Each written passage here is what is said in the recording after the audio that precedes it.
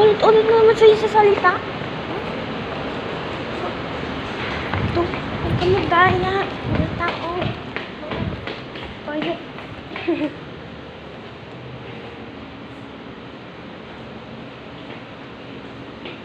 Na 200 dan mo pa kakapon, no? Hmm?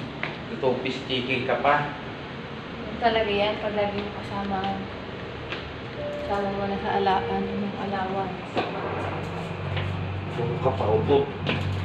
Uy, malamig. Pero yan na, lebe na. Saan ka? Kakain muna tayo.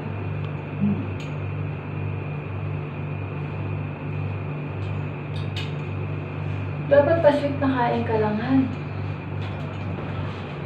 Sa kanan mo.